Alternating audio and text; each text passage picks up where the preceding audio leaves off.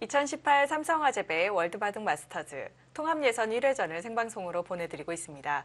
오늘 두 판의 대국 중점적으로 살펴보고 있는데요. 먼저 이 김명훈 선수와 구링이 선수의 대결 어떻게 진행되고 있나요? 어, 일단은 상변 쪽에 대마를 공격을 하러 갔는데 네. 그 대마 공격이 좀 수월하게 된다면 김명훈 6단이 아주 편안한 바둑이 될 테고요. 근데 반대로 만약에 대마가 수월하게 타개가 된다면 네. 그러면 집으로는 아. 그렇게 많은 바둑이 아니기 때문에 의외로 고전할 수도 있다라는 생각이 듭니다. 그렇군요. 그래서 이제 그 상변 쪽의 대마 상- 생사 문제가 가장 큰 이 바둑의 승부처가 아닐까 싶습니다. 네, 김채영 선수의 대국은 어떨까요? 김채영 사단과 리어 우단의 대국은 좌하 쪽에서 전투가 붙었는데 네. 저희가 아까 보고 난 이후로 약간 재밌는 모양이 생겼거든요. 뭐 모양을 보고 나서 한번 다시 한번 판단해야 될 것 같은데 역시 중요한 승부처로 보였습니다. 네, 일찌감치 승부처를 맞이한 대국입니다. 과연 어떻게 변화가 되었을지 두 판 함께 살펴보시죠. 2018 삼성화재배 월드바둑 마스터즈 왼쪽 대국이 김명훈 선수와 구링이 선수의 대결이고요. 오른쪽이 김채영 선수와 리허 선수의 대결입니다.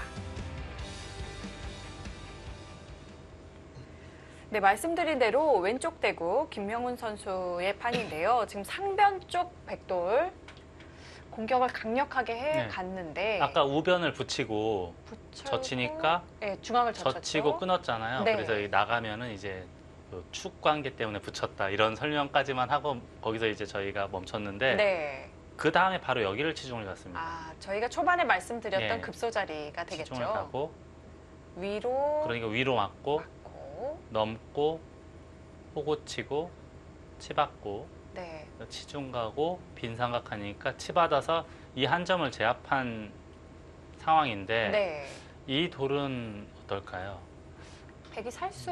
사는 데는 큰 문제는 없을 것 같긴 하거든요. 모양은 네.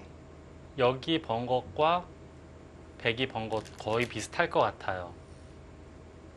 자, 지금 이쪽을 호구를 쳤기 때문에 이쪽은 찌르더라도 단수 이쪽 단수 네. 잡을 때 빠져나가거나 뭐 최소한 호구만 아. 쳐도 사는 데는 큰 문제는 없어 보입니다. 그러네요. 충분한 그렇다면은- 공간이 있군요.